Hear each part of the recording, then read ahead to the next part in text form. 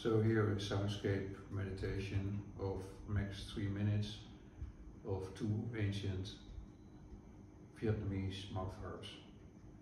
Just relax in the silence and in the overtones of the mouth harps. Breathing in deeply